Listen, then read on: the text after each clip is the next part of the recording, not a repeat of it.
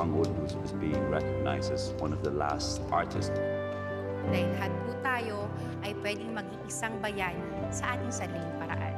Beautiful ako sa kung ano ako, sa kung ano yung meron ako. We were able to give about a thousand bicycles to 10 cities in Metro Manila. The Iron Lady of Asia. Ganito nakilala si Senator Miriam Defensor Santiago noong nabubuhay pa siya.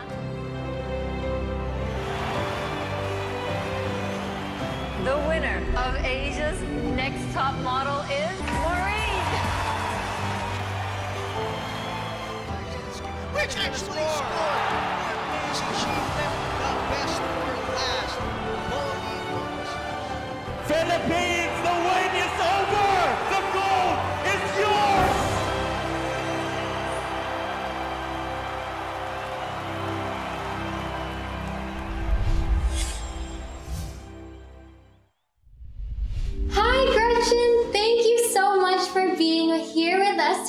Shiro Talk. I'm so touched to be here with you. Of course, after interviewing you for the Olympic qualifiers, it's such an honor to be on your channel, to be your guest this time.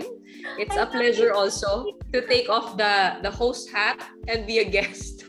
Sobrang parang thank you Lord, dinala mo ako dito kasi napakaswerte ko na tama yung timing, tama yung daan, lahat natutunan ko bago ako dumating dun sa mga opportunity na yon. And I still have a lot to learn. Super, ang dami pa talaga. And I want to, you know, be better, to grow better. And I'm just grateful that I get the privilege to be uh, in the front row of, of those competitions. Well, now that you're talking about purposeful service, I think something that I saw on social media, it truly inspired me, especially it was, I believe it was early of last year or late of last year. You did this campaign, Donate a Bike, Save a Job campaign. What was your inspiration behind that to do that purposeful service? I mean, it was a scary time, you know, but you still did that, and I find that truly amazing. So, can you tell us a little bit more about that? I, I really felt moved to do something in the pandemic to help out. Parang I wasn't okay with just staying at home and having a comfortable life and, you know, getting to eat, getting to, you know, posting stuff. Kasi alam mo naman yan, di ba, tayo, they give us all kinds of stuff to post. Yeah. Diba? And then we, we also earn from it. Parang hindi ako happy na okay buhay ko. Tapos, mga tao sa labas, hindi. Parang, uh, you know, I was uh, really itching to do something eh. So, I decided to donate bikes. It was just supposed to be mga 30. 30 lang. Meron tayong 30 bikes na ibibigay mula sa Women in Action PH. Ito po yung grupo ko. Nag-fundraiser po kami para sa mga bisikleta para mabigyan po ng trabaho yung mga nawalan po ng trabaho ngayong pandemya. Tapos, parang may nagsabi sa akin, lakasan mo naman loob mo, 50. Gawin mo na 50. Kasi sabi ko, I'll, I'll try fundraising. Kasi I'm sure I have a lot of friends who, you know, might be interested to donate. Pero kung hindi nila kaya or wala akong ma-fundraise, ako dapat magbabayad. So it has to be a, an amount that I can shoulder. So, i-turn, so 30 lang, 30 lang. Pero sabi, hindi, kaya mo yan. Wala ka bang believe sa sarili mo. Gawin mo na 50. Tapos, nung ginawa kong 50, ayan, first day pa lang may nag-donate na 100 bikes si Piolo Pascual. Oo, oh, grabe. And then, you know, people love the idea. Then it became bigger and bigger and bigger. It went viral. People, you know, I had 10,000 applications for the bikes. So I only had 50. But good thing the donations poured in and then we ended up with a thousand. But I had 10,000 applications.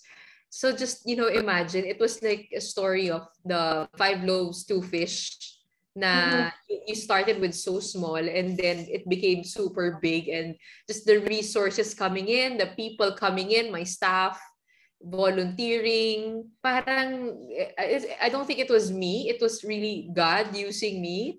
Yung hangarin talaga namin, eh, makatulong talaga kami sa mga tao sa isang ah, sustainable na paraan. Itong bisikleta, mabibigyan sila ng access to livelihood.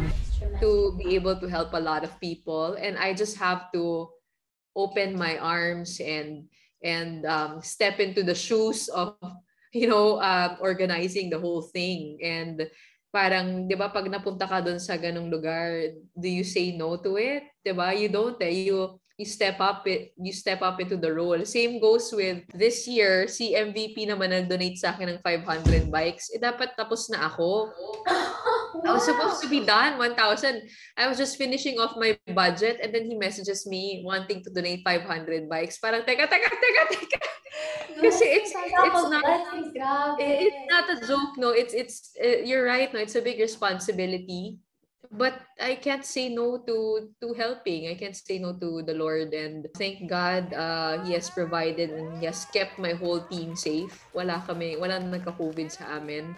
But um, every time we'd go out there, I can't lie to you, there's always that fear na may mag- magka-COVID sa amin and- I'd be responsible for that. So we have a system of doing things, but that's as far as how you know we can control. But swerte talaga, walang nagka-COVID sa amin. Pasalamat na lang sa Diyos. I'm so glad you're doing so many great things for people. And um, I feel like I'm also asking this for myself. Pero for our listeners right now, what advice can you give someone who truly wants to help, but they don't know how or, or where to start? What's the first thing they should be doing? You know, I think you should just even if even if it's just a small drive, it doesn't matter. Um, kahit na kung wari, magpadala ka lang ng, let's say, pagkain sa frontliners. And it doesn't even have to be people you don't know. It can be like family members, relatives. Sabi ko nga eh, this time, the least thing that you can do, the easiest, but can be hard thing to do is to be kind to people. Batiin mo sila, kausapin mo sila ng, ng mabuti, uh, bumati ka ng good morning. Kasi ano eh, it's a tough time eh, mentally. Parang lahat tayo, parang we, we face anxiety, loneliness, um, some depression. I mean, just start with those small things and then maybe if you want something bigger than that, pwedeng ano, kung ano, what, whatever it is that you're passionate for. Kung mare, yung sa akin kasi yung drive ko, kaya napili ko yung bike. Kasi I wanted to help people na sustainable. Uh, I didn't want to give them money kasi mauubos lang yon or food kasi mauubos din yon. What I wanted to give them something that would last them like two years to five years and they can really uh, empower themselves, which is the bike. So, kung mari, um, kayo, kung gusto nyo, subukan nyo mag-fundraise kahit isa lang, di ba? Magugulat talaga kayo na there are so many people who are willing to help na hindi lang, kailangan lang nila mahanap yung right person, right avenue. And the, the number one key, I think, to fundraising is trust. So that's why I kept on posting what you were doing kasi for transparency purposes. Tapos bigla dumadami pa rin. Kaya meron na nga ngayon nag, nag-tag sa akin na Sangguni ang Kabataan. They started their own bike drive. Yes, I saw that. I wanted to actually ask you about that. See, you're inspiring others to do this, which I'm inspired myself. You know, Sir Mark, let's start something soon. Why not? You can. You totally can. You, kahit pagpamigay ka lang sa channel mo, at di ba? Alam mo yon make it a habit. You're also influencing other people to do the same. You know, it starts in small things and then becomes waves. Yes. Thank you for that, Gretchen. Now, we're gonna talk about the Shiro you are. Um, a video that stuck with me personally is you mentioned the pride you feel in a male dominated world.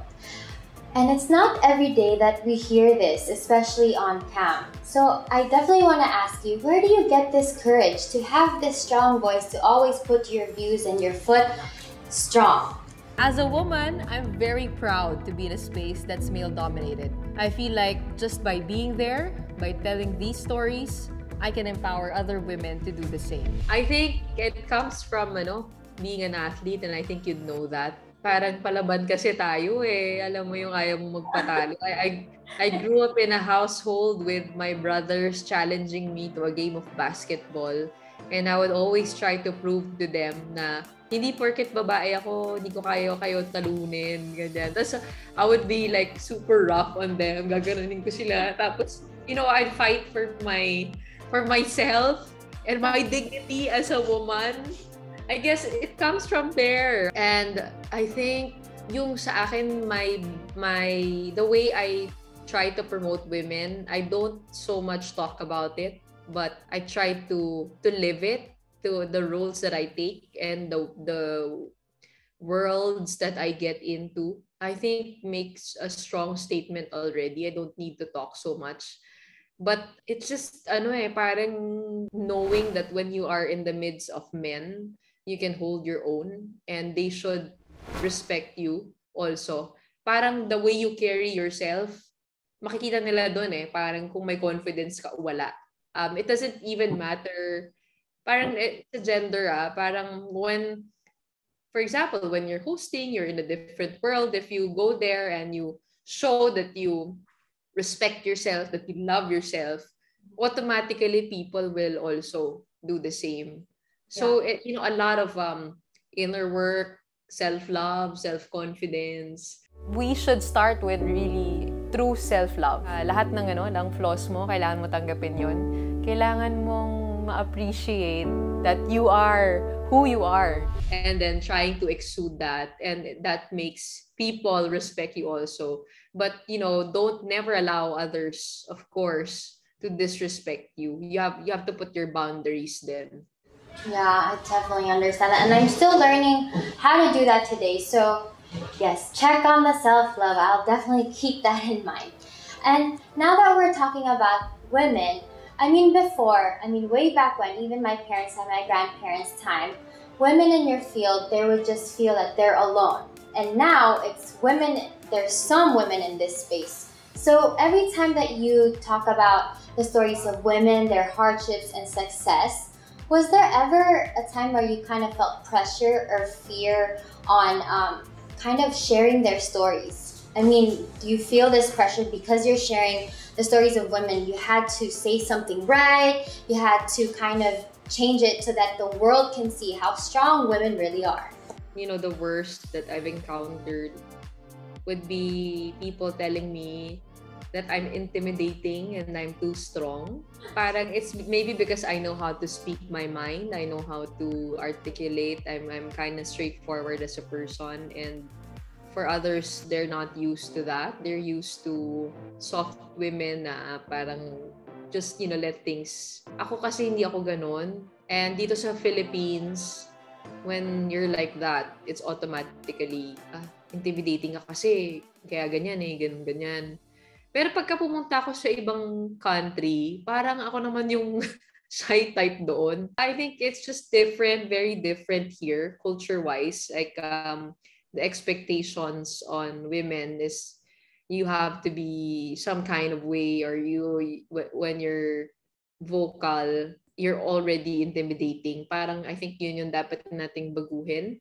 But when it comes to telling stories of women, never naman ako naka-encounter ng ng challenges. I think ano eh, parang hindi ko alam kung ano eh, takot mas takot ata sila sa akin, baliktad. I mean, sometimes I get scared to talk to you, but I'm learning to use my voice the same way you're teaching me right now. but thank you for that. And my one of my last few questions is actually I feel like a lot of our listeners can truly relate. I mean, in our society, how can we translate this awareness to action? How can we do that to empower other women? I really think that, you know, um, women should bring up other women with them where, wherever they go. So when you get into a space where there there are less female voices in the room, you should try to bring other women with you in the room.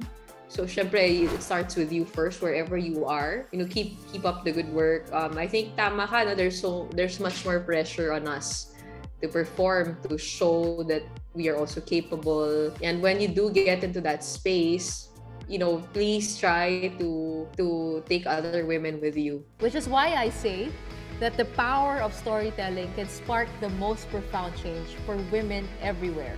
Connect with other women, know them, and help them tell their stories. Don't engage in any bringing other people down. I think you um, promote a healthy culture where a lot of women can succeed also And uh, yun nga, when you get into a place where you're successful, try to make it, make more programs or projects that will lead to the development of other younger female leaders wherever you are. 'di ba? Parang ang sa, sa women naman ang kulang lang sa atin dito sa Pilipinas mostly courage eh. Courage to speak, courage to act, courage to lead, courage to say something, courage to do something. Sometimes people just need a nudge or an affirmation, 'di ba? It's it's mostly that and always remember that, you know, when you're a woman, you have a different kind of strength. You should embrace it. When you're in the room, being a woman, I think, is an advantage rather a disadvantage.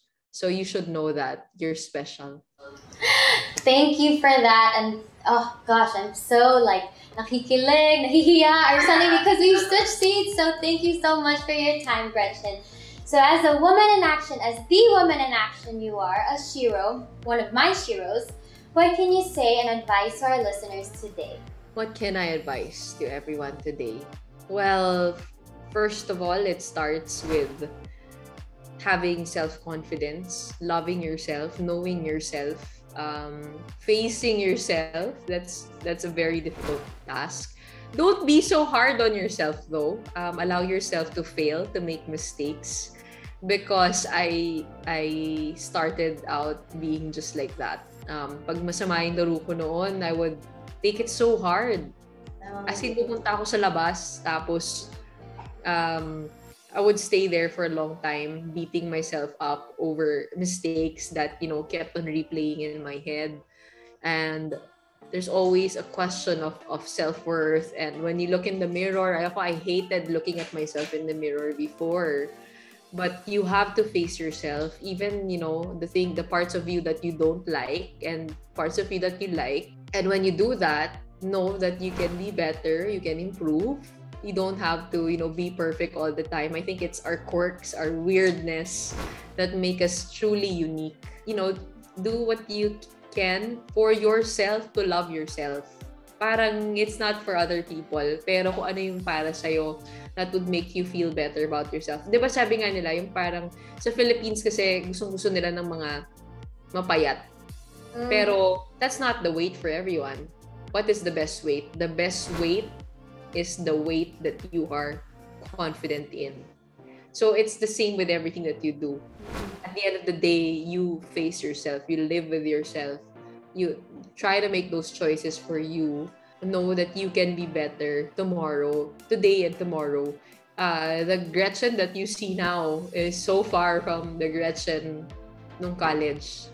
And that's because, you know, I had a vision na parang I wanna be better. I wanna bring out the best in myself because I know this is not it. I know I can be you know this this person I envision na confident na na somebody I'd be proud of, somebody who's capable of speaking, if, of um you know presenting herself to may it be corporate or or in kabataan or whatever role I find myself in. It started in my head as a vision and then I worked towards that. You know, it's it's a it's a long journey like I said but it starts with facing yourself, loving yourself for everything, and wanting to be better. Oh my goodness. Thank you so much, Gretchen, for imparting your knowledge. I learned so much and I truly enjoyed this time with you. Thank you, Maybe our journey.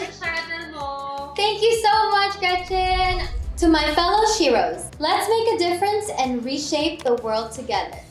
Follow me in our future episodes and discover your power from within. Our time is now. This is Pauline Lopez and see you soon on Shiro Talk.